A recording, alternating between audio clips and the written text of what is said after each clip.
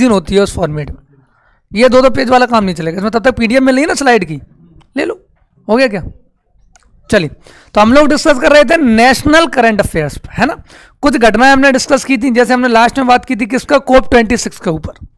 कि कोप 26 क्या है, कहाँ हुआ यूएनएफसीसीसी क्या है, उसके अंदर सारी चीज़ें। चलो, अब देखते हैं कुछ इवेंट्स और इंडिया में हुए, वो क्या क्या हैं। चलो तो वन बाई वन देख लेते हैं।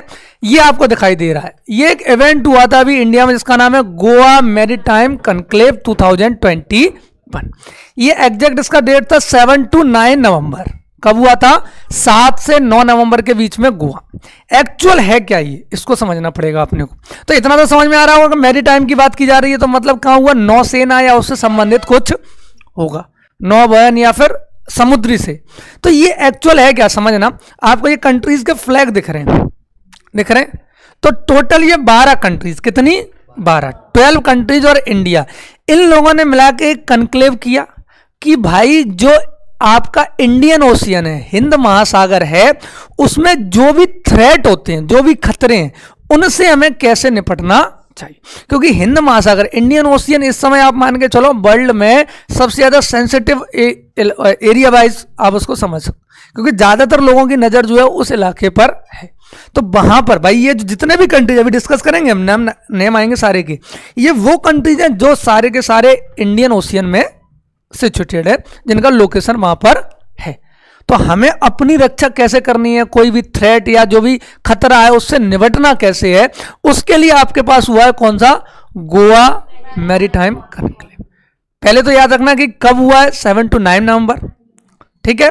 और कितने कंट्रीज़ हैं? तो ट्वेल्व प्लस इंडिया थर्टीन अब कंक्लेव है। अब कनक्लेव का मीन समझ रहे हो? कनक्लेव का मीन क्या होता है? एक होता है मीटिंग एक होता है सबमिट एक होता है कनक्लेव तो ये कॉन्क्लेव या कनक्लेव जो प्रोनाउंसिएशन हम यूज़ करते हैं, वो क्या है? मीटिंग में और कनक्लेव में या कॉन्क्लेव में क्या डिफरेंस होता है? कुछ होता है क्या? एक ही होता है? अच्छा फिर तो फिर मीटिंग ही लिखते कॉन्क्लेव क्यों लिखा? सबमिट लिख देते फिर सबमिट क्यों लिखते हैं? मीटिंग ही लिखते हैं।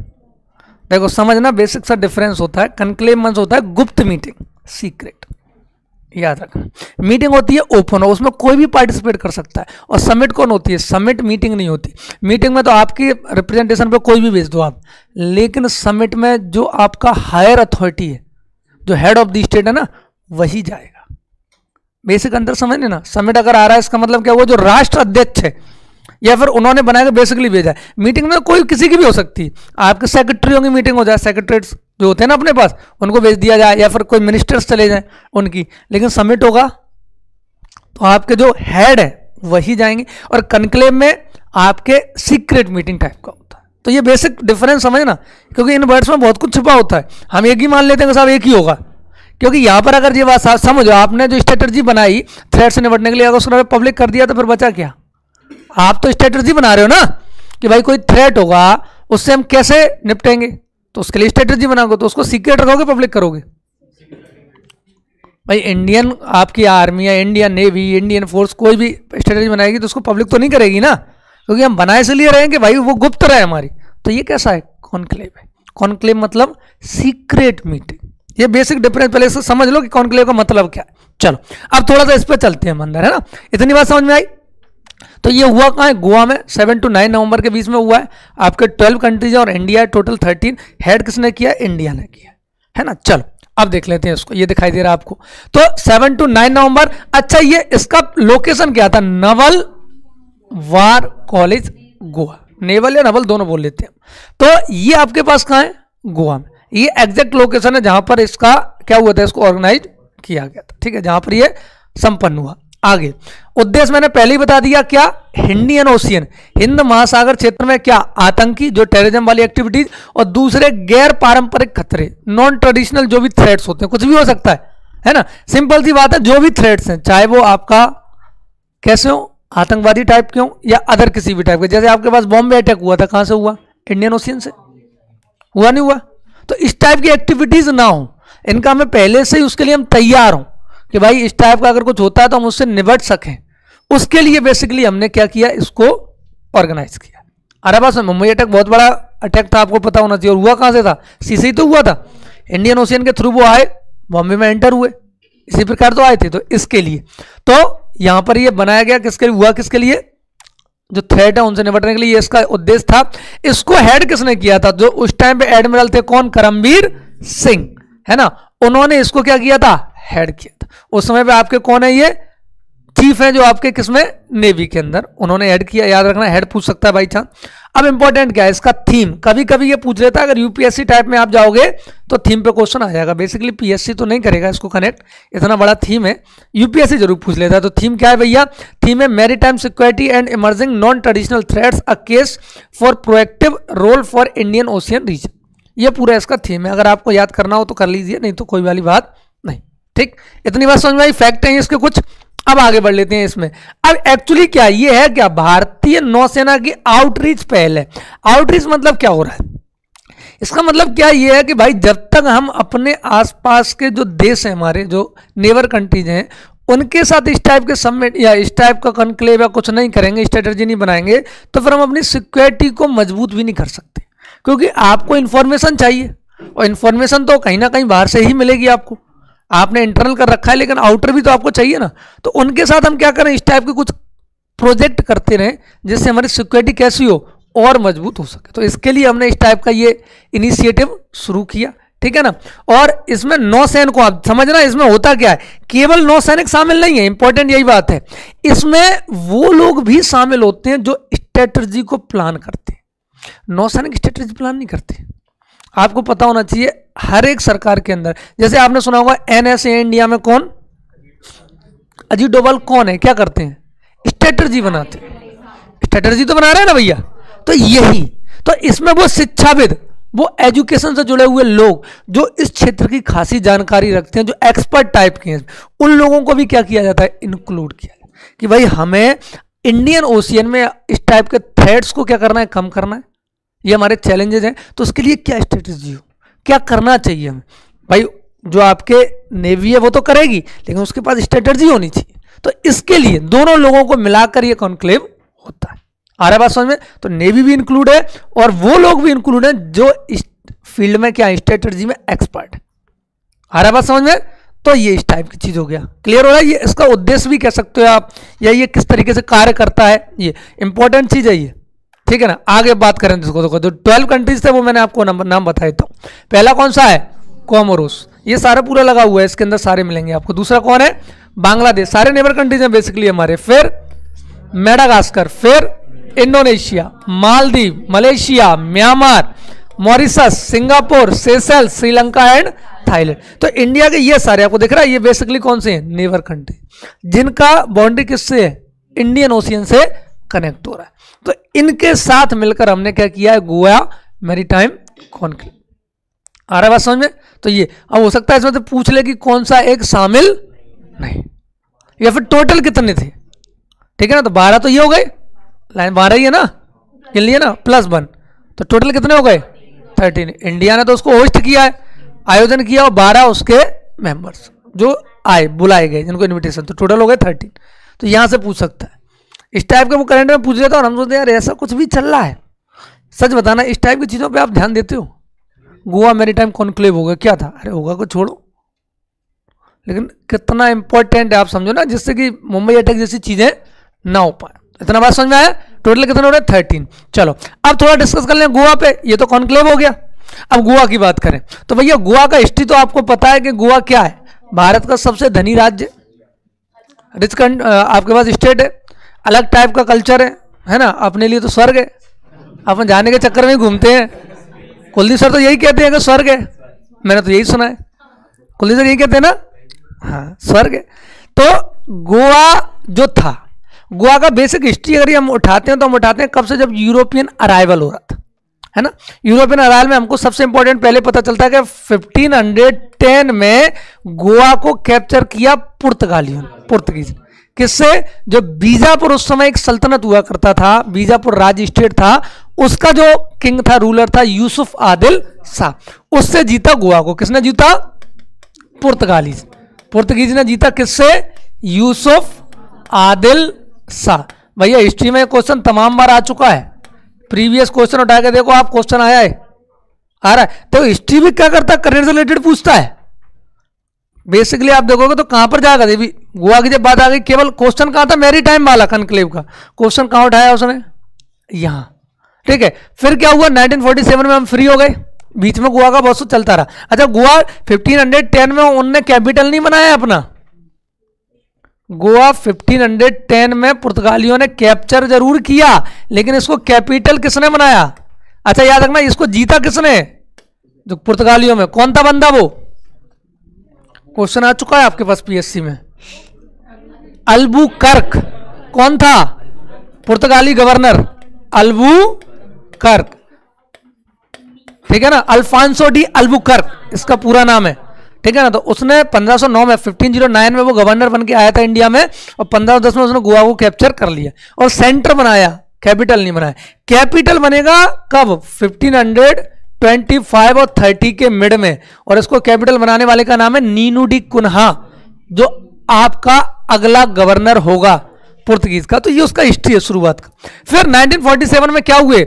हम आज़ाद हुए। किससे? जो ब्रिटिश एम्पायर था, ब्रिटिश रूल था, उससे फ्री हुए। बट यहाँ पर गोवा में ब्रिटिश रूल कभी नहीं चला। गोवा जिसके अंडर रहा है ना, वो आपके पुर्तगीज हैं। पुर्तगालियों के अधीन ही रहा है। शुरू से लेकर 1510 से उन्होंने कब्जा किया 1510 से। और आपकी स्वतंत्रता तक। गोवा किसके अधीन रहा? पुर्तगालियों के अधीन रहा। याद रख। और जब 1947 में 47 में हम फ्री हुए तो हमने इनको भी बोला भैया, आप भी निकलो। लेकिन ये निकले नहीं। ध्यान रखना। पुर्तगालियों से हमारी बात चलती रही, सब कुछ चलता रहा, लेकिन पुर्तगालियों ने गोवा नहीं छोड़ा। तब जाके 1961 में, याद रखना, कब? 1961 में हमने एक चलाया क्या? ऑपरेशन विजय। कौन सा चलाया? ऑपरेशन विजय। और ऑपरेशन विजय के थ्रू हमने क्या किया? गोवा को पुर्तगाली प्रभाव से मुक्त कराया। तो एक क्वेश्चन तमाम बार पूछा गया प्रीवियस एग्ज़ाम्स में कि भारत का वह कौन सा क्षेत्र है जो सबसे पहले यूरोपीय कंपनियों के अधीन हुआ और सबसे बाद में फ्री हुआ? वो है गोवा। सबसे पहले गोवा को कैप्चर किया उन्होंने और सबसे लास्ट में किसको छेड़ा उन्होंने? आ रहा बात समझ में? तो ये उसका हिस्ट्री रहा है। हिस्ट्री के अंदर हम डिस्कस करते हैं। अब गोवा के बारे में थोड़ा सा और देख लेते कुछ फैक्ट कि भाई कौन क्या है यहाँ पर। ठीक है? तो समझो गोवा को राज्य का दर्जा स्टेटस कब मिला स्टेट का? 1987 में कौन सा अमेंडमेंट था? याद रखना 1961 में हमने गोवा फ्री करा लिया, लेकिन वो स्टेट नहीं बना, उसको क्या बना दिया? यूनियन टेरिटरी यूटी के रूप में उसको इंक्लूड किया। और 87 में जाके 56 अमेंडमेंट से हमने गोवा को as a twenty state of India यानी 25वें राज्य के रूप में क्या दिया? दर्जा दिया। ध्यान रखना। तो गोवा आपका छप्पनवें संविधान संशोधन से क्या बनाया गया है? राज्य बनाया गया। कब? 87 61 में फ्री हो रहा है। यूटी बना दे रहे हैं हम उसको। ठीक है, गोवा दमनदीप पूरा मिला के हमने यूटी बनाया था और फिर 87 में जाके उसको स्टेट बना दिया। स्टेट का स्टेटस कब मिला है? 87 क्लियर? अब बात करें, गोवा का कैपिटल क्या है भाई? जी ये तो सबको पता है। ठीक है एट प्रेजेंट आपके जो गवर्नर है वो कौन है? श्रीधरन पिल्लई साहब है। चीफ मिनिस्टर कौन है? प्रमोद साहब। प्रमोद सावंती है ना? हाँ। सबसे अच्छे चीफ मिनिस्टर गोवा के रहे थे कौन अभी जो चले गए? मनोहर पारेकर। बहुत फ़ेमस पर्सनैलिटी ज़बरदस्त। ठीक है ना? तो ये कुछ फैक्ट हैं गोवा के। और चलते हैं हम गोवा में और डिस्कस करें। आपको पता है क्षेत्रफल, यानी एरिया वाइज ये भारत का सबसे छोटा राज्य। रिच है, लेकिन एरिया वाइज सबसे छोटा है। कितना एरिया है? केवल और केवल सैंतीस ज़ीरो दो, thirty seven hundred zero two kilometre square area है इसका। बस, इतना बड़ा टोटल हुआ। ठीक है ना? छोटा सा। बहुत बड़ा है क्या? सैंतीस थ्री सेवन ज़ीरो टू कितना होता है? बहुत कम सा होता है। सबसे बड़ा कौन सा है हमारे पास? राजस्थान। कितना है भाई साहब? तो छोटा बड़ा याद रखना कभी कभी इस प्रकार के लॉलीपॉप प्रश्न भी पीएससी देता है। मिलते हैं हमें। नहीं आते क्या? एकदम लॉलीपॉप टाइप के प्रश्न ये कि कोई भी उड़ा दे। ठीक है, चलो। अब सबसे इंपॉर्टेंट चीज़, सबसे इंपॉर्टेंट चीज़ क्या है कि गोवा अकेला वन एंड ओनली स्टेट है, जिसके अंदर क्या है? यूनिफॉर्म सिविल कोड आर्टिकल चवालीस। एक समान सिविल संहिता। याद रखना, यूनिफॉर्म सिविल कोड को लागू करने वाला वन एंड ओनली स्टेट अभी तक, अगर है कहीं पर तो वो है गोवा। है क्या यूनिफॉर्म सिविल कोड? तो यूनिफॉर्म सिविल कोड का मतलब है कि आपके पास जो लॉ होता है, पहले समझो, लॉ के कितने बेसिक पार्ट होते हैं? दो। एक होता है सिविल, जिसको हिंदी में क्या बोलते हैं? दीवानी। और दूसरा होता है क्रिमिनल जिसको क्या बोलते हैं हम? फौजदारी। क्या बोलते हैं? फौजदारी। तो दीवानी में आते हैं आपके ऐसे मामले जो आपके धर्म से संबंधित या पारिवारिक, जैसे डाइवोर्स वाइवोर्स वाला जो है, वो किसमें आएगा? सिविल में। लैंड का कोई भी आपका विवाद है, जमीनी संबंधी, वो भी किसमें आएगा? सिविल में। या फिर आपका जो रिलीजियस कोई मैटर है, वो भी कहाँ आएगा? सिविल में। ठीक है, वो होते हैं दीवानी। आपराधिक कौन से होते हैं? जिसमें लड़ाई, दंगा, मारना, पीटना, इस टाइप के किसमें आते हैं? डकैती, बकैती, ये सब फौजदारी। तो भैया, इंडिया में फौजदारी तो सब जगह कैसा है? एक समान है यूनिफॉर्म है। याद रखना। यानी अगर हम बात करें क्रिमिनल केसेस में तो हमारे पास एक ही कानून लागू होता है, वो सबके लिए समान होता है, किसी के लिए भी अलग नहीं होता। आर्टिकल 14 हमारा क्लियर कहता है क्या? विधि के समझ समता इक्वलिटी बिफोर लॉ और इक्वल प्रोटेक्शन ऑफ़ लॉ विधि के समान संरक्षण तो यानी आप कोई भी आपराधिक कृत्य करोगे मर्डर करोगे आईपीसी सेक्शन 302 अप्लाई हो। आप किसी भी रिलीजन के हो, किसी भी कम्युनिटी के हो, कोई भी हो मेल हो फीमेल हो थर्ड जेंडर हो, आप पर 302 अप्लाई होगा। बट सिविल में ऐसा नहीं है। सिविल में आप देखो हिंदूज का डाइवोर्स सिस्टम कुछ अलग है। लॉज अलग है। मुस्लिम का डाइवोर्स सिस्टम कुछ अलग है। सिख का कुछ मतलब अगर हम देखें इस टाइप से तो ये सिविल के जो मैटर हैं, वो कैसे हैं? अलग अलग। लैंड आप, वो देखो लॉज तो एमपी का एलआरसी कुछ अलग है। एमपी लैंड रिकॉर्ड्स का जो लॉ है यूपी का कुछ अलग है। तो सिविल के क्या है? अलग अलग। आर्टिकल 44 हमारा ये कहता है कि भाई, जैसे कि आपके किसमें क्रिमिनल में एक जैसा कानून है। ऐसा ही सिविल में भी होना चाहिए। कि भाई, तलाक जो हो, वो सभी धर्मों में एक जैसा कानूनी रूप में हो अलग अलग रूप में ना हो। तो ये आर्टिकल 44 हमारा कहता है यूनिफॉर्म सिविल कोड लेकिन वो है नहीं लागू। अलग राज्यों में अलग अलग कानून लागू है अलग अलग धर्मों में अलग अलग कानून लागू है, लेकिन गोवा के अंदर कोई अलग कानून नहीं। वहाँ पर जो होगा, वो अकॉर्डिंग टू लॉ एक लॉ के अनुसार ही होगा अलग अलग लॉ नहीं चले। आ रहा बात समझ में? एक राज्य वन एंड ओनली कौन है? बस याद रखना इंपॉर्टेंट क्वेश्चन बनता है। पहले बार से पूछेगा यूनिफॉर्म सिविल कोड कहाँ है? तो आर्टिकल 44 में और कौन सा राज्य है जहाँ पर ये लागू है? तो भैया वो है गोवा। गोवा के अंदर बाकी कहीं पर भी अभी यूनिफॉर्म सिविल कोड नहीं है। होना चाहिए वैसे तो। क्योंकि अगर क्रिमिनल में है यूनिफॉर्म यानी एक समान है क्रिमिनल केसेस में तो फिर सिविल में क्यों नहीं? सिविल में भी होना चाहिए। भाई राज्य अलग है और धर्म अलग है। दोनों को अलग अलग करना चाहिए। लेकिन चलो जो भी है राजनीति चलती है, भारत में चल रहा है। इतनी बात समझ में आई? तो uniform civil code one and only कौन सा स्टेट है? गोवा। यूनिफॉर्म सिविल कोड होता क्या है? समझ में आ गया? एक समान सिविल संहिता आर्टिकल कौन सा है? फोर्टी फोर ठीक है, चलो, अब आगे बढ़ते हैं, ठीक?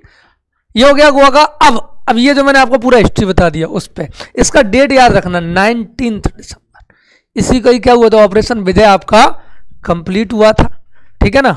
और उसी दिन हम गोवा को क्या करा पाए थे? पुर्तगालियों से मुक्त करा पाए थे। ये पूरी इसकी थोड़ी सी कहानी इस पर लिखी हुई जो मैंने नॉर्मली आपको थोड़ा थोड़ा बता दिया कि फिफ्टीन हंड्रेड टेन में उसको कैप्चर किया, फिर उसको बनाया, फिर लोगों ने वहाँ पर डिमांड विमांड किया कि भाई गोवा को अलग स्टेट बनाया जाए। पूरा एक मूवमेंट चला। फोर्टी सेवन में भी मूवमेंट चलता रहा। फिर हमने बात की किससे? पुर्तगीज गवर्नमेंट से, पुर्तगाली सरकार से, लेकिन वो एग्री नहीं हुए। वो तो अभी भी कह रहे थे कि गोवा हमारा ही है। तो फिर हमने क्या किया? अपनी जो सेना थी वो उतारी कि भैया आपका नहीं है, निकलो। जमाने चले गए भाई, रूलर, अब हमारे पास कोई भी, अब हम कॉलोनी नहीं है, उपनिवेश, फिर हमने उसको खाली करवाया, ऑपरेशन में, ये पूरा हिस्ट्री है उसका गोवा का ठीक है ना, चलो, अब गोवा में एक चीज़ और होती है, वो भी हुई है इंपॉर्टेंट है, आपने पढ़ा होगा international film festival of India ठीक है ना, चल रहा था ना तो ये एक इंपॉर्टेंट है, याद रखना, है ना तो ये भी कहाँ पर होता है, गोवा में होता है, कौन सा नंबर हुआ है अभी फिफ्टी फ़र्स्ट इक्यावनवा आपका ये हुआ ठीक है, हुआ कब? इसकी स्थापना कब हुई थी? 1952 में। यानी उन्नीस सौ बावन से जो फ़िल्म फेस्टिवल है आपका, वो गोवा में संपन्न हो रहा है। नहीं मतलब टोटली नहीं हो रहा है, बीच में अलग अलग भी हुआ है। स्थापना की बात कर रहे हैं 52 में। और मैक्सिमम टाइम पर ये गोवा में ही होता है। याद रखना, ज़्यादातर आपका जो फ़िल्म फेस्टिवल है, ये इंटरनेशनल इंडिया का, वो कहाँ पर होता है? मैक्सिमम टाइम पे गोवा में होता है, ठीक है। इसके कुछ अवार्ड है, वो याद रखना। करवाता कौन है, ये याद कर लो तो ठीक है, नहीं कर लो तो कोई वाली बात नहीं, ठीक है ना, इतना नहीं है। बस इसमें याद रखना है, पहला मिलता है गोल्डन पिकॉक अवार्ड कौन सा मिलता है? ये किसके लिए मिलता है? ये मिलता है बेस्ट फ़िल्म के लिए। कितना पैसा मिलेगा? चालीस लाख। कितना पैसा मिलता है? फोर्टी लैक्स। किस पर? गोल्डन पिकॉक अवार्ड किसमें international Indian international film festival दूसरा मिलता है सिल्वर पिकॉक अवार्ड ठीक है ना, ये किसके लिए मिलता है? वो बेस्ट फ़िल्म के लिए था, ये बेस्ट इसमें कितना मिलता है भैया? पंद्रह लाख। ठीक है? तो गोल्डन पिकॉक और सिल्वर पिकॉक अवार्ड का रिलेशन किससे आपके inter Indian international film fest जो मैक्सिमम टाइम पे कहाँ होता है? गोवा में इसको कब स्थापित किया गया था? 1952 ये गोवा से रिलेटेड सारी चीज़ें अपन देख रहे हैं धीमे धीमे कुछ ना कुछ निकल रहा है। चलो, अब एक और इंपॉर्टेंट क्वेश्चन है जो आपको दिखाई दे रहा है। तो भैया गोवा वो पहला स्टेट है जिसने किसको जिसने एक मिशन या एक आपके स्कीम लॉन्च की है और उसको बिल्कुल सक्सेस कर लिया, हर घर जल। इसमें क्या है? इसमें टैप वाटर टैप वाटर मतलब क्या? नल से पानी। है ना? ज़्यादातर कहा? नल से ही तो आता है। तो हर घर के अंदर नल से पानी उपलब्ध कराया जा रहा है। भारत का वो पहला राज्य कौन सा है? गोवा ऐसे बहुत सारी चीज़ें गोवा पे भी डिस्कस करेंगे वन बाई वन क्वेश्चन आ जाएँगे। तो हर घर, जल जो स्कीम है, वो कहाँ पर लॉन्च की गई है, कहाँ पर चल रही है? गोवा में। उसका रिलेशन किससे है? टैप वाटर यानी कि नल से पानी उपलब्ध पेयजल की बात करें ड्रिंकिंग वाटर की। और हर एक घर में उन्होंने ये उपलब्ध करा दिया। तो याद रखना, हर घर जल स्टेट कौन सा है? तो गोवा है। रिलेटेड किससे है? टैप वाटर से। और ये पूरा मिशन जो चल रहा था, उसके अंदर ये काम कर रहा है। क्लियर हुआ? अब अगला जो आपके पास गोवा के पास एक स्टेटस है, वो कौन सा है? गोवा अचीव्ड ओडीएफ याद रखना ODF and electricity for every house तो हर घर में बिजली, जल पहुँच गया, गोवा फ़र्स्ट स्टेट बिजली, गोवा फ़र्स्ट जो बाकी लोटा लेके जो हम निकलते हैं, उससे भी फ्री है। खुले में शौच से मुक्त ओपन डिफेक्शन फ्री ओडीएफ का जो फुल फॉर्म है, यानी कि खुले में शौच से मुक्त स्टेट भी पहला कौन सा है? अब वो भी सुना कैसा नहीं, खुले में शौच से मुक्त ये नहीं है कहिए किसी भी डे के किसी भी पॉइंट ऑफ़ टाइम पे, अगर ओडीएफ का जो मिलता है ना, जो स्टेटस वो कैसे मिलता है? कि ओपन डिफेक्शन फ्री स्टेट कि किसी भी दिन, कि किसी भी समय पर यदि कोई भी व्यक्ति खुले में सोच करता हुआ पाया जाएगा तो ओडीएफ स्टेटस नहीं मिलेगा। किसी भी टाइम पे। वैसे क्या होता है, आपको पता सरकारी चेक करने आ रहे हैं तो उस समय वो व्यवस्थाएँ कर लेते हैं अपनी। यहाँ पर क्या है कभी भी any point of time any point of time पे मिलता है याद रखना। तो ओडीएफ मिलने वाला गोवा पहला राज्य है, जहाँ पर ये वाली जो चीज़ें हैं, वो समाप्त हो चुकी तो याद रखना ओडीएफ भी गोवा इलेक्ट्रिसिटी भी गोवा टैप वाटर यानी नल से जल भी गोवा। क्योंकि धनी राज्य पैसा वैसा ठीक ठाक है, उस पर चल रहा है। तो फिर पैसा वैसा अपन लोग भी तो दे आते हैं। खर्च नहीं करते? वहाँ जाकर तो अपन खजाने खोल देते हैं। पहले भी व्यवस्था करके जाते गोवा जा रहे इतना पैसा लेके जाएँगे। कन्फर्म, एक्स्ट्रा लेके जाएँगे। हाँ। गोवा जाना भैया, उसमें मत फंसना। वो वो कसिनो टाइप का जो रोडों पे खिलाते हैं। कन्फर्म लूटे जाओगे, कोई बचा नहीं सकता। ना पता भी नहीं चलेगा कब लूट लिया गया। ध्यान रखो, चलो। तो ओडीएफ समझ में व्हाट इज़ ओडीएफ मैंने बता दिया ओडीएफ मतलब क्या है? ओपन डिफेक्शन फ्री यानी खुले में शौच से मुक्त। हिंदी में क्या मतलब हुआ? खुले में शौच से मुक्त। पूरी टॉयलेट बन गई ना? हर एक प्रेम कथा। नहीं देखी क्या? टॉयलेट एक प्रेम कथा। है ना? हाँ।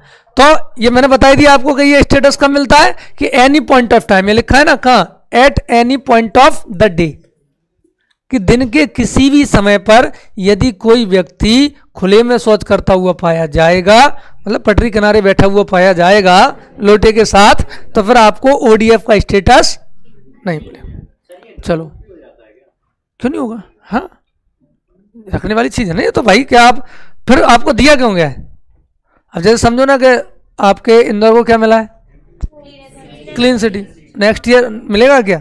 अगर क्लीन ही रखेगा तो। मैं वो तो यही इस टाइप से चलता है। अब ऐसे थोड़ी आते हैं वो रोज रोज चेक करने।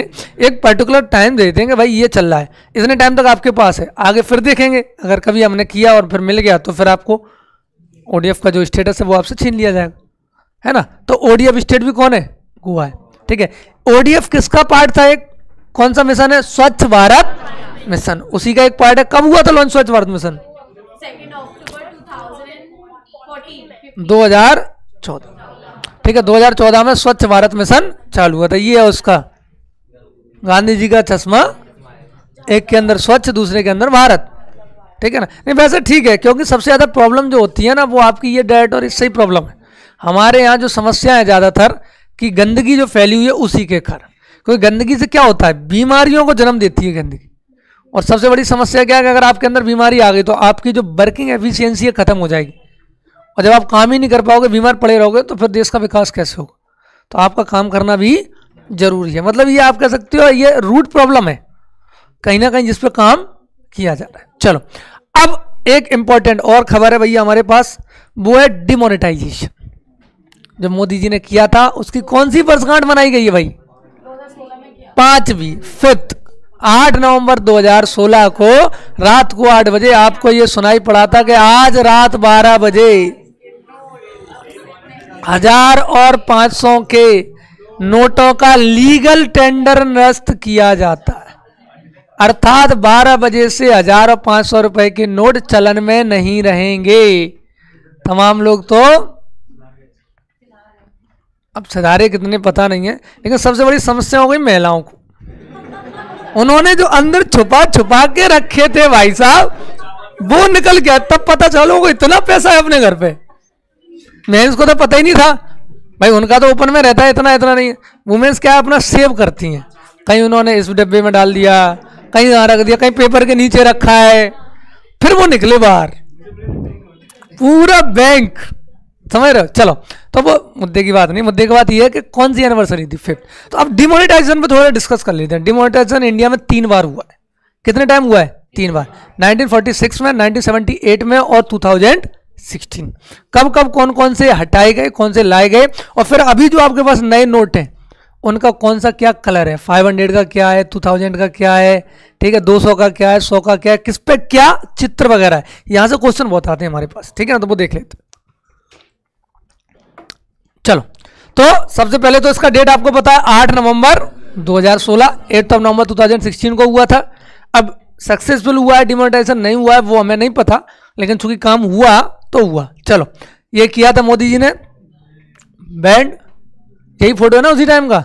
यही वाली उसमें थे नेहरू कोटी में। चलो तो अभी तक देश में कितनी बार नोटबंदी हुई है भाई? तीन बार। डेटा मैंने बता दी आपको पहली डेट क्या आपके पास? 46 जनवरी 46 में। दूसरा सेवेंटी जब जनता दल की गवर्नमेंट बनी आपके आ, क्या नाम है? मैडम की गवर्नमेंट गई इमरजेंसी के बाद और फिर जनता दल की गवर्नमेंट तो 78 और तीसरी बार फिर गवर्नमेंट चेंज हुई, मोदी जी गवर्नमेंट आई 2016 तो तीन बार टोटल अभी तक क्या हुआ है? डिमोनेटाइजेशन यानी कि नोटबंदी की गई। तीन बार बेसिकली उसके पहले का पता नहीं, वो अंग्रेज़ों का टाइम पीरियड रहा है, क्योंकि 46 में तो हम इसलिए मान रहे हैं क्योंकि हमारे पास लगभग आ गई थी। सत्ता लगभग। कैबिनेट मिशन कही चुका था तो वो सारी चीज़ों को हम जोड़ लेते हैं, है ना? चलो। तो अब देखो, सबसे पहले जनवरी 1946 में क्या किया गया? तो आपके पास 500 हज़ार और दस हज़ार के नोट चलते थे उस समय, जो सबसे बड़े नोट थे। हाँ जी, पाँच सौ हज़ार और दस हज़ार। इन नोटों को क्या किया गया था? वापस ले लिया गया था। ठीक है ना? तो ये लिखा है ना फाइव हंड्रेड थाउज़ेंड एंड उसी टाइम का ये न्यूज़पेपर का कटेंगे तो इनका टेंडर लीगल टेंडर जो है वो निरस्त कर दिया गया था। तो पाँच सौ हज़ार और दस हज़ार के नोट्स वापस लिए गए। और फिर दोबारा कब आए? याद रखना इंपॉर्टेंट क्वेश्चन आता है यहाँ। इनको जब दोबारा कब लाए गए? 1954 में। तो 46 में डिमोनेटाइजेशन हुआ। छोटे नोट ही चलते रहे। और उन्नीस सौ चौवन में हज़ार पाँच सौ, पाँच हज़ार और दस हज़ार। इनके नोट्स फिर वापस शुरू किए गए। तो समझना ये अच्छा। कब आ रहा है पहली बार मोनेटाइजेशन 46 में। 46 में क्या किया गया? पाँच सौ, हज़ार दस हज़ार के जो नोट चल रहे थे अंग्रेज़ों के शासनकाल में, वो बंद कर दिए। फिर छोटे नोट जो आपके सौ, छोटे ये टाइप के नोट चल रहे, वो चलते रहे। फिर उसके आठ साल बाद, लगभग अप्रोक्सीमेट एट ईयर्स 1954 में क्या किया गया? आपके फिर बड़े नोटों को चालू किया गया। अरे बात समझ, पहला डिमोनेटाइजेशन पहला विमुद्रीकरण। नोटबंदी पहली ठीक? चलिए। ये वाला हो गया। अब दूसरा कब हुआ? जनवरी नाइनटीन अब कौन से नोट चल रहे हैं अभी? हज़ार, पाँच हज़ार और दस हज़ार। यही देखे ना अभी? हज़ार, पाँच हज़ार, दस हज़ार, ये आ गए ना? तो ये नोट अभी चल रहे यानी अब गाज गिरेगी इन पर। ये वाले नोट बंद होंगे। तो देखो, जनवरी 1978 में क्या किया गया था? जनता पार्टी की सरकार आई और उसने हज़ार, पाँच हज़ार और बड़े बड़े नोटों का डिमोनेटाइजेशन होता है, ध्यान रखना। क्या होता है, ये बेसिकली दो तीन चीज़ों के लिए करते हैं। एक करते हैं ब्लैक मनी के लिए। दूसरा जाली, जो आपके पास करेंसी होती है, उसके लिए फेक करेंसी के लिए। इस टाइप की चीज़ के लिए डिमोनेटाइजेशन होता है है ना? तो यहाँ पर इस समय तक क्या होता है कि आपका इमरजेंसी इमरजेंसी टाइम पीरियड में बहुत कुछ जाली करेंसी ब्लैक मनी बहुत कुछ जनरेट हो गया था। तो इसलिए जनता पार्टी का जो गवर्नमेंट आई, उन्होंने क्या किया? बड़े जितने भी नोट थे, वो सारे इलीगल कर दिए बैंड कर दिए। तो ये सेकंड हुआ था, ठीक है? तो ये विमुद्रीकरण किया गया ताकि क्या हो? जालसाजी और काले धन ब्लैक मनी पर क्या लगे? रोक लगाई जा सके। तो ये सेकंड टाइम हुआ, ठीक? अब तीसरा तीसरा कब हुआ है आपके पास? 8 नवंबर 2016 कौन सा नोट बंद हुआ भाई? 500 और अभी भी है, कुछ पढ़े होंगे जिन्हें कुछ नहीं हो सकता। ठीक है, अब आ जाते हैं वन बाई वन नोट, ठीक है? उसके बाद अब गवर्नमेंट ने दोबारा पाँच सौ, दो हज़ार का नोट जारी कर दिया हमें। ठीक है अच्छा एक चीज़ याद रखना 2000 का नोट अभी नहीं चल रहा। नहीं चल रहा मतलब चलन में है, छप नहीं रहा। 2019 के बाद 2000 के नोटों की छपाई बंद कर दी गई है। याद रखना, क्योंकि टोटल आपकी जो करेंसी है ना, उसका लगभग 85 टू 86 परसेंट कवर किया था 2000 और 500 के नोट्स में तो 2000 क्या होता है? ब्लैक मनी जल्दी बन जाता है, भाई, कम होता है तो कलेक्शन हो सकता है। इसलिए उन्होंने 2019 के बाद उसका जो छपाना है प्रिंटिंग है, वो बंद। ध्यान रखा दो के बाद वो नोट छपना बंद। चलन में है? चल नहीं रहा मतलब ये नहीं होता कि चलन में नहीं है। तो दो हज़ार का फालतू हो गया, हमारी जेब में पड़ा है। कागज़ हो गया, नहीं, चल रहा है मतलब छपाई प्रिंटिंग नहीं हो रही। है ठीक है? तो चलो, अब वन बाई सारे नोट देख लेते हैं हम किस पर, क्या है, यहाँ से क्वेश्चन इतनी बात समझ में आ गई? तो डिमोनेटाइजेशन कितनी बार हुआ है? पहला 46 में दूसरा 78 में थ्री वहाँ से पूछेगा 2021 में हाल ही में किए गए डिमोनेटाइजेशन की कौन सी एनिवर्सरी थी? पाँच पाँच में टोटल कितनी बार हुआ? तीन बार। हो सकता है कब नहीं हुआ? 46, 78, 91, 2016 और 91 क्यों देगा? क्योंकि इकोनॉमिक क्राइसिस चल रहा था अपना। तो इस टाइप से वो चिपका देगा। तो यहाँ से क्वेश्चन बनने की पूरी पूरी पॉसिबिलिटीज होती हैं। इस टाइप के क्वेश्चन इकोनॉमी के करंट क्वेश्चन है ये मान के चल रहा है ना? इकोनॉमी इस टाइप के क्वेश्चन आते अब चलो। तो भैया ये है दस रुपए का नोट रंग कैसा याद रखना। यहाँ से क्वेश्चन पूछेगा। चॉकलेट यहाँ से ये सारी चीज़ें नहीं, केवल दो चीज़ें याद रखनी है। एक तो रंग कैसा चॉकलेट बनाऊ। दूसरा, इसके पीछे है क्या? कोणार्क का सूर्य मंदिर बस दो चीज़ें याद रखनी है। बाकी तो उसका साइज़ वाइज है। रिलीज़ कब हुआ? पाँच जनवरी 2018 को। इसका साइज़ क्या ये दिया आपके पास। महत्वपूर्ण बड़ा आगे क्या है? महात्मा गांधी तो है ही अपने। ठीक है? पापा? हाँ देवनागरी में दस रुपये लिखा हुआ है। पीछे वाली साइड में जाओ, क्या मिलेगा? कोणार्क का सूर्य मंदिर है। स्वच्छ भारत, लोगों का नारा है। और भाषा पैनल जिसमें आपके पास भाषाएँ मिलती अब कितनी मिलती हैं, वो आप देखना। ये वाला मैं नहीं बता रहा। किस नोट पर कितनी लैंग्वेजेस होती चलो, अब इतना होमवर्क भी कर लेना थोड़ा सा। कमेंट कर देना वीडियो में नीचे। देख के कमेंट कर देना वीडियो में, ठीक है? जब आप कंफर्म हो जाओ। चौदह, पंद्रह, सोलह, सत्रह, अठारह कितनी है? बारह, तेरह। अब इतने लोग इतने बोल चुके हैं ना? चलो। तो याद क्या रखना है? कि दस रुपए का जो नोट है, उसका कलर क्या है? Chocolate brown. चित्र किसका है? तमाम बार ऐसे क्वेश्चन आ चुके हैं भैया प्रीवियस ईयर पेपर्स में ध्यान रखना। सारे नोटों को देख रहे हैं अपन? सारे। तो दस रुपए का नोट हो गया, फिर उसके बाद आ जाओ कौन सा? बीस रुपए का। रंग कैसा है? नारंगी और ये मिक्सचर है उसका। फ्लोरोसेंट येलो कह सकते हो आप इसको। ये हिंदी ये लिख दिया आपको। फ्लोरोसेंट येलो है। तो ये मिला के जब बनाओगे ना तो यही बनेगा। अब जैसे मेजेंटा इंग्लिश अलग है, हिंदी कुछ का अलग हो जाता ठीक है, उस टाइप की कहानी है। चलो, अब इसके पीछे क्या है? एलोरा की गुफा है ना? दिख रही है? एलोरा केव से लिखा है। ठीक है? चलो, अगला ये कैसा है भैया? हंड्रेड रुपीज़ है ना? अच्छा फिफ्टी है। अरे यार, बाजू से क्या वो हो जाता है? पचास रुपए, पचास ही। है ठीक है, कौन सा कलर है? Fluorescent blue. अब ठीक है, फ्लोरोसेंट मिल गया वहाँ फ्लोरोसेंट येलो कर लेते। ठीक है, इसके पीछे क्या है? क्या ये? हम्पी। कर्नाटका। है ना? हम्पी है क्या एक्चुअली हम्पी विजयनगर साम्राज्य की कैपिटल हुआ करती थी। है ना? जैसे हलेबिड भी कहा जाता है। क्या कहा जाता है? हलेबिड जिसका दूसरा नाम हलेबिड भी मिलता आ चुका है पीएससी एकदम पूछ चुका है इसको ठीक है? तो फ्लोसेंट ब्लू और है क्या चित्र पीछे। हम इतना याद रखना, बस दो चीज़ें। बाकी चीज़ों से मतलब बाकी तो सेम ही है। अगला, ये आ गया हंड्रेड ये कैसा है? लेवेंडर अब ये ऐसे ही पूछेगा। हाँ सौ रुपए के नोट का रंग कैसा है? फ्लोसेंट ब्लू लेवेंडर नीला नीला है। ब्लू। हो गया काम अपना। याद रखना है कैसा है? लेवेंडर ठीक है ना? और इसके पीछे क्या है भैया? रानी की बाव। कहा है? गुजरात में। हमारे पास एक क्या है? आ, उसका यूनेस्को का एक विश्व धरोहर स्थलों में शामिल है तो हेरिटेज है हमारे पास। रानी की गुजरात में। गुजरात में है? गुजरात में। रानी की बाव तो गुजरात में ही है। राजस्थान में तो बहुत कुछ बाबड़ियाँ बहुत है लेकिन रानी की बाव गुजरात में रानी की बाव गुजरात में। ये अपना यूनेस्को का वो है, वर्ल्ड हेरिटेज साइट है। ठीक है तो रानी की बाव, क्लियर? कौन से पर है? हंड्रेड। याद करना, दस रुपए पे क्या था? था क्या? कोणार का सूर्य मंदिर बीस रुपए पे क्या था?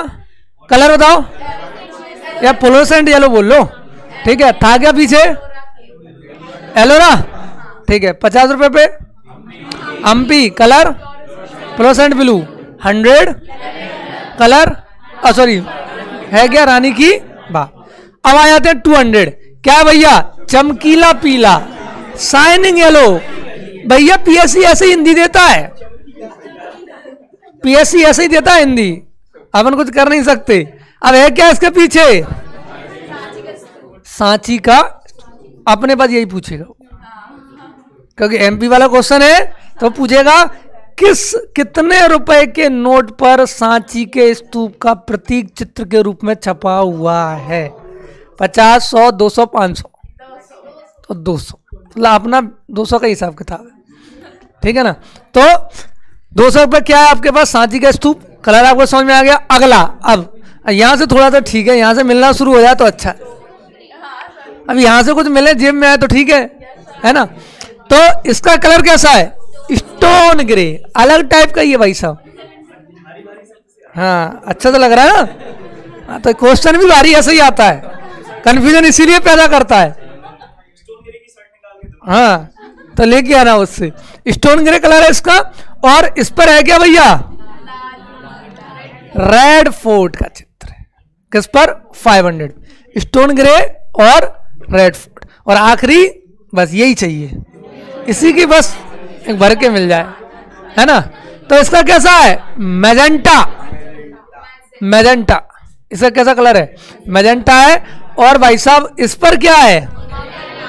मंगलयान मंगलयान मतलब M O M mom Mars orbiter mission कब हुआ था लॉन्च मुझे नहीं पता। देख ली होगी ना मिसर मंगल? फिर भी नहीं पता? अब और ज़्यादा खोलूँगा तो दिक्कत हो जाएगी। भाई साहब, एक ही खबर में कहाँ तक जाऊँगा अंदर तक, है ना? बहुत सारा करंट पढ़ाना होता है। लेकिन स्टैटिक जी के इसलिए लेके चल रहा हूँ कि ये सारे क्वेश्चन बनते हैं। और ये कन्फर्म है पीएससी इसी प्रकार से क्वेश्चन उठाता है। आप उठाकर देख लो, ये सारे क्वेश्चन कहीं ना कहीं पूछे हैं उसने। वो करंट रिलेटेड क्वेश्चन ऐसे स्टैटिक जीके के उठा लेता है। कहीं हिस्ट्री का होगा, कहीं पॉलिटी का होगा, कहीं ज्योग्राफी कहीं इकोनॉमी कहीं साइंस साइंस में डिस्कस किया, अभी डिस्कस करेंगे। माल न्यूट्रिशन पे चल रहा है अगला क्वेश्चन आपका। अभी डिस्कस करेंगे उस पर ठीक है ना? तो ये क्लियर हो गया? कलर्स याद हो गए सबके? कलर्स भी चलो भूल भी जाओ बाई चांस तो 500 2000 का याद रखना। 500 2000 और 100 का 100 200 बस। बाकी किसके पीछे क्या है, ये ज़रूर याद रखना। ठीक है? अब कौन सा नोट कितने में छपता है? ये भी जरा देख लेते। हैं एक्चुअल कितनी कॉस्टिंग आती है? भाई, आपके जेब में 2000 रखे हैं, लेकिन 2000 का जो वैल्यू 2000 है क्या? उसका तो सांकेतिक मुद्रा है ना? उस फेस वैल्यू है। उसकी जो प्रिंट कॉस्ट है वो क्या है? भाई कागज़ का जो पेपर का कॉस्ट है, उसका प्रिंटिंग कॉस्ट है, मिला लोगे, पूरा कॉस्ट आ जाएगा। ठीक है ना? तो चलो। तो 500 के नोट कितना पैसा खर्चा आता है? लगभग ढाई रुपए टू पॉइंट सिक्स फाइव रुपए का खर्चा आता है। सोचो, कितना पैसा सरकार हमसे ले लेती? पाँच सौ रुपये कह रही है और है कितना? ढाई रुपया। टू पॉइंट सिक्स फाइव है ना? दो रुपए, पैंसठ पैसे लगभग खर्च किए जाते हैं किस पर? देखो, दो हज़ार का तो बंद ही हो गया, इसलिए उसको डिस्कस नहीं कर रहे। ठीक है ना? पहले वाला जो आंकड़ा था, वो हमने छोड़ दिया 2019 से बंद कर दिया है उसकी प्रिंटिंग तो इसलिए उसको अपन ने छोड़ दिया। हम बात कर रहे हैं बाकी के नोटों की। तो पाँच सौ कितने खर्च करेंगे? कुछ नया मिल रहा है ना? मज़ा आ रहा है कि नहीं आ रहा है? पता ही नहीं अपने कॉस्टिंग कितनी है। चलो, दूसरा 200 के नोट पर 2.48 यानी लगभग ढाई क्या चाह रहे हो? बॉम्बे जिम्मा में बना दे। वहाँ लाखों के नोट चल रहे हैं, लाखों के नोट चल रहे हैं भैया, लाखों के नोट। समझ रहे हो? आपको सेब बनवाने जाना है तो इतने भर के ले जाओ। इकोनॉमी क्रैश हो जाएगी। डिनफ्लेशन इतना खतरनाक चल रहा है। समझ रहे हो? इसलिए अपने नोट छापने से कुछ नहीं होता। अगर आप इकोनॉमी में जाओगे तो आपको पता चलेगा, यदि हमने अपनी करेंसी ज़्यादा छाप ली तो आपका इकोनॉमी उतना ही डाउन। हमको चाहिए क्या? Foreign currency. या तो सोना या डॉलर। इसलिए हम कहते हैं आओ भैया फैक्ट्री लगाओ। है ना F D I F P I नहीं एफ़ डी आई चाहिए हम फॉरेन डायरेक्ट इन्वेस्ट पोर्टफोलियो उतना ज़्यादा प्रॉफिटेबल नहीं है। है, ऐसा नहीं है, लेकिन एफ़ डी आई बहुत इंपॉर्टेंट चलो तो कितना खर्चा है? टू पॉइंट फोर एट दो रुपये अड़तालीस पैसा। फिर सौ के नोट पर प्रिंट करने का खर्चा डेढ़ रुपया। वन पॉइंट फाइव वन ठीक है, सौ के नोट पर कितना है? डेढ़ रुपया। पचास के नोट पर वन पॉइंट टू टू कम होते जा रहे हैं ना। थोड़ा वो बड़ा है तो ढाई रुपये तो देना पड़ेगा यार पाँच सौ का। और फिर बीस रुपए के नोट को छापने पे और दस रुपए के नोट से बराबर लगभग, ठीक है ना? सरकार के पास एक ही पैसा खर्च होना होता है, लगभग दोनों के सेम होते हैं, उसकी ज़रूरत भी नहीं है आपको। दस बीस रुपए वो पूछता भी नहीं। भाई चंद, एक आध पूछ लेता है तो इस टाइप का क्वेश्चन कभी कभी आड़े टेढ़े बना के डाल देता है कॉस्टिंग का। तो ये सारे आगे नोट के खर्चे, कितना शुरू हुआ था? Two point six five two point four eight one point five one one point two two बस। टू थाउज़ेंड का है ही नहीं, क्योंकि वो अब प्रिंट ही नहीं हो रहा। बंद नहीं हुआ प्रिंट नहीं हो रहा बंद तो चल रहा है लीगल टेंडर्स का भी निरस्त नहीं हुआ क्लियर चलो अब देख लेते हैं आगे तो ये ये लगभग एक रुपया खर्चा होता है दोनों पे लगभग लगभग किस पर दस रुपये और बीस रुपये एक रुपये लगभग तो इसलिए वो ज़्यादा नहीं छापते ज़्यादातर बड़े नोटों को इसलिए तो प्रेफर किया जाता है पैसा कम खर्च हो रहा है चलो अब चार प्रिंटिंग प्रेस जहाँ नोट छापे जाते हैं बेसिकली कितनी चार कौन कौन सी है पूछ लेता है ठीक है ना तो याद रखना नासिक देवास, मैसूर और सालबोनी, पश्चिम बंगाल। ये फोर प्रिंटिंग प्रेसेस है आपकी, जहाँ पर क्या होते हैं, आपके नोटों की छपाई इंपॉर्टेंट बात ये क्वेश्चन जो बनता है कि ये जो प्रिंटिंग होती है ना, इसके लिए इंक कहाँ से आती है? क्या हमारी है, या फिर हम फॉरेन से मंगाते हैं? कहाँ से? यह क्वेश्चन आता है। ये पूछा भी गया तमाम बार कि जो नोटों की छपाई के लिए जो स्याही उपलब्ध कराई जाती है, जो इंक है, वो कहाँ, किस देश से हम क्या करते हैं? इंपोर्ट करते हैं। तो उसका नाम है स्विट्जरलैंड, ध्यान रखना। कहाँ से? स्विट्जरलैंड की एक कंपनी है, जिससे हम इस जो नोटों को छापने के लिए इंक होती है, उसको इम्पोर्ट करते हैं। इंपॉर्टेंट याद रखना। तो नोटों की छपाई के लिए स्याही कहाँ से आ रही है? भाई स्पेशल होती है ना स्याही, निकलती नहीं। एक बार नोट धुल भी जाता है, तब भी खत्म नहीं होता। नहीं नॉर्मली आपका क्या हो?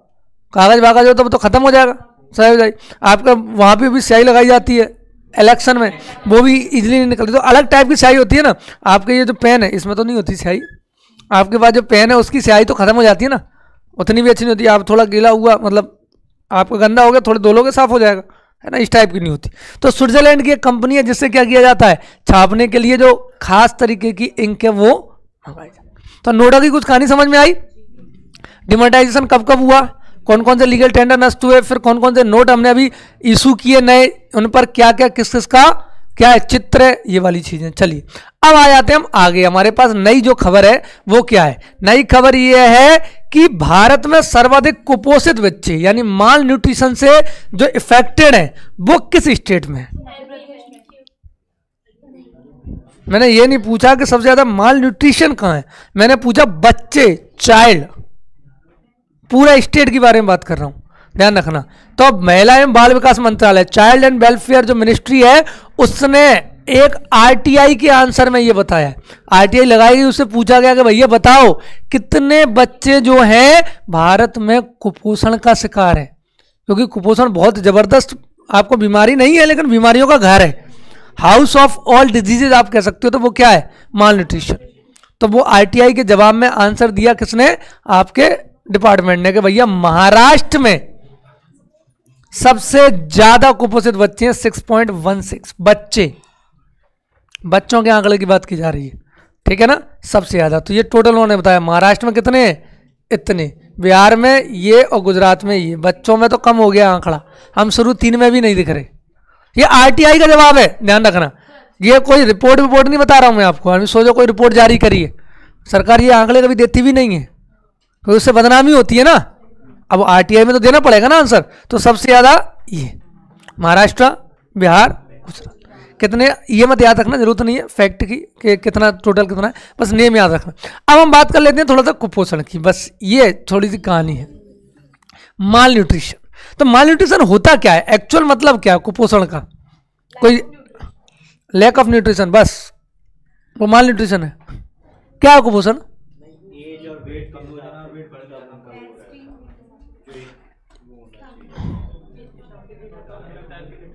सपोज़ दैट आपके पास मेंस में भी ये है और थ्री मार्कर यदि आप पे आ जाए कुपोषण क्या लिखोगे आप लोग?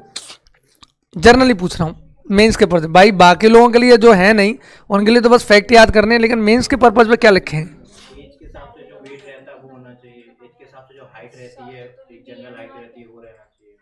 ये डेफिनेशन नहीं हुई। ये आप उसके पता है लक्षण टाइप्स बता रहे हो। मैंने डेफिनेशन पूछा है। बस यही यही बेसिक अंतर होता है। समझो? माल न्यूट्रिशन का मतलब क्या है?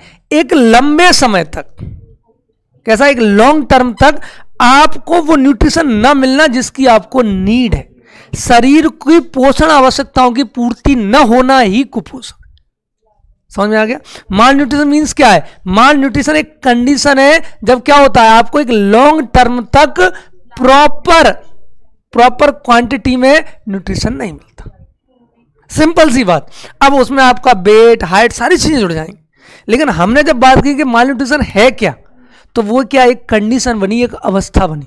जब अब एक दिन खाना नहीं खाया तो माल न्यूट्रिशन थोड़ी हो जाएगा।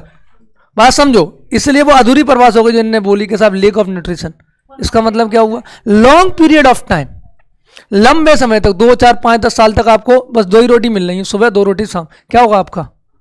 कुपोषित हो जाओगे ना? भाई, कुपोषण का पता कैसे चलता है? कुपोषण का पता चलता है आपकी वर्किंग एनर्जी से। आप यहाँ से चले, दो जीने उतरे हो कहानी आपकी खत्म।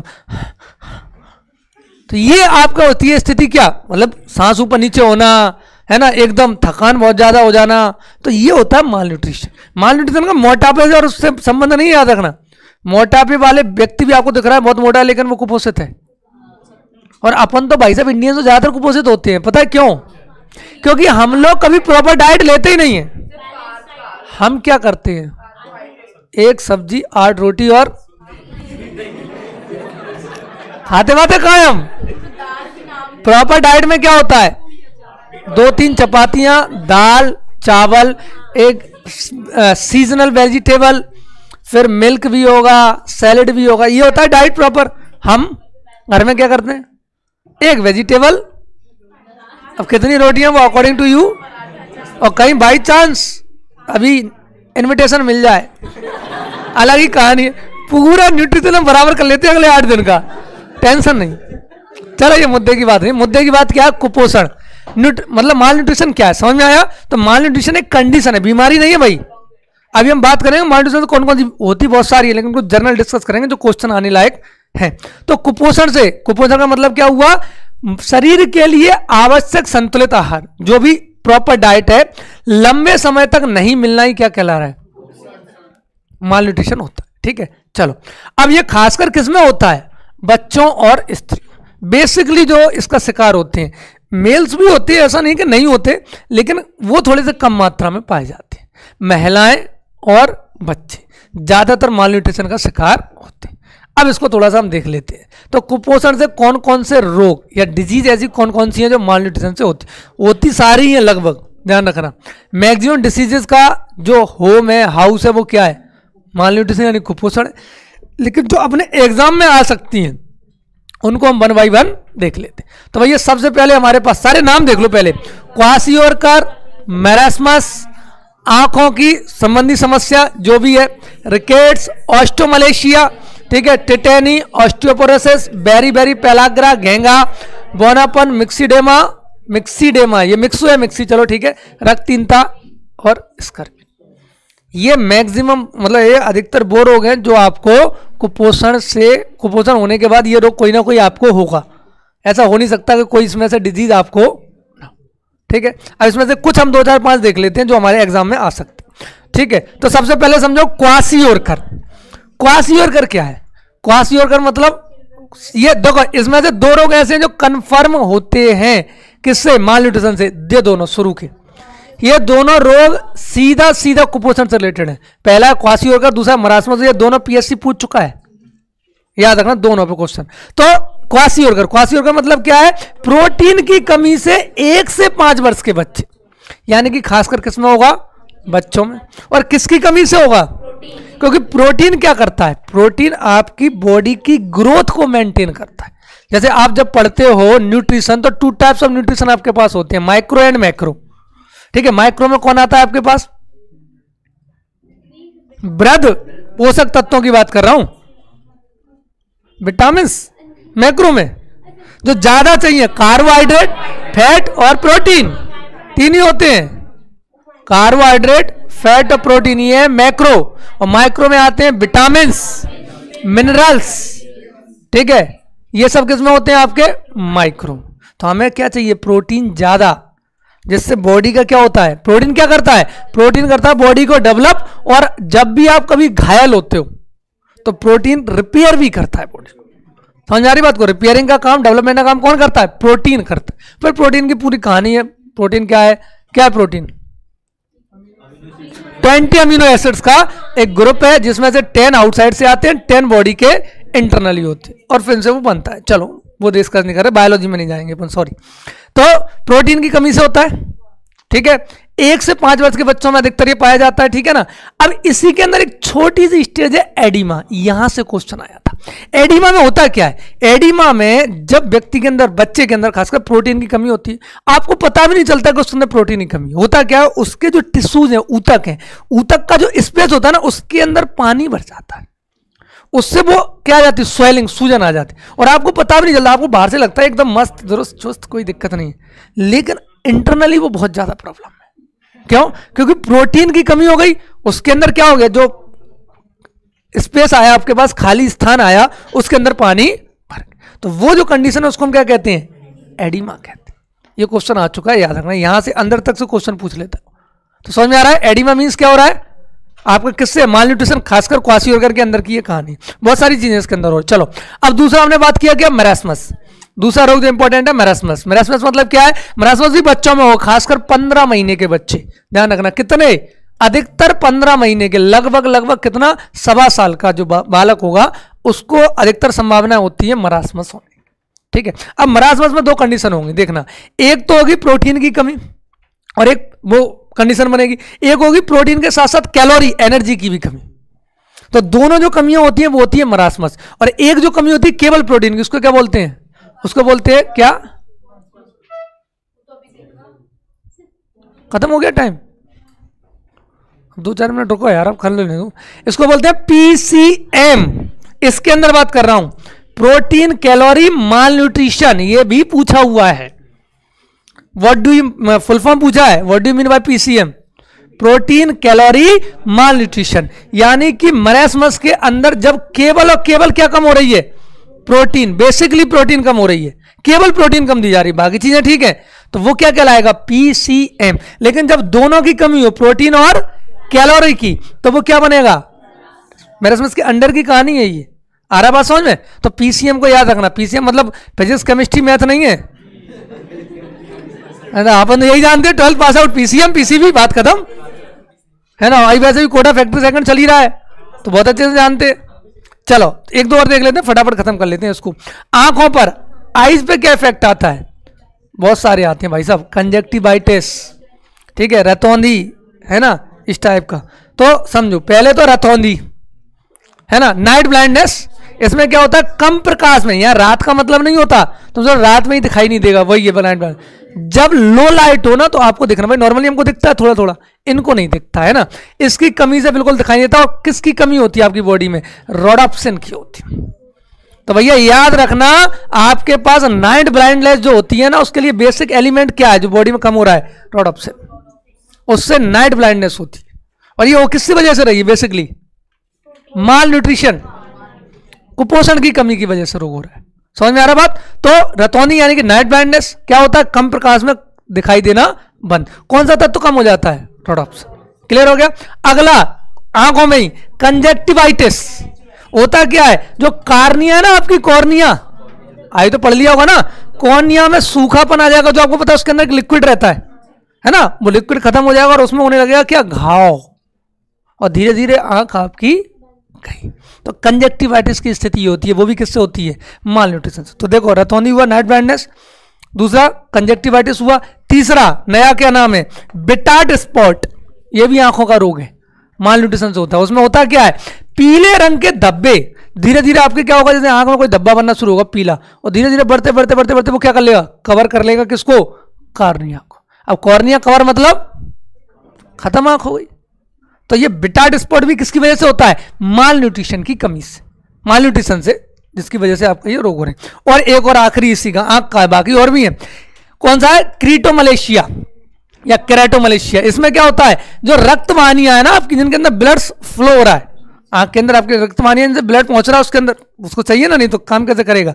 वो क्या करेंगे? वो कॉर्निया को घेरने से, घेरने लगेंगे धीरे धीरे कवर करेंगे। मतलब रेड स्पॉट आपकी आँख में बढ़ना शुरू होगा। और धीरे धीरे धीरे धीरे करके क्या करेगा पूरा कवर कर लिया कॉर्निया को और एंड में जाके ब्लाइंड तो माल न्यूट्रिशन से आँखों की ये चार बीमारियाँ आपको दिखाई दे रही हैं। और भी होती हैं तो night blindness conjunctivitis Bitot spot और क्रेटोमलिस अब यहाँ छोड़ देते हैं। अभी माल न्यूट्रिशन चल रहा है। एक, दो, तीन, चार और हैं। खत्म नहीं हुई। चलिए इसको फिर बाकी कर लेते तब तक के लिए धन्यवाद।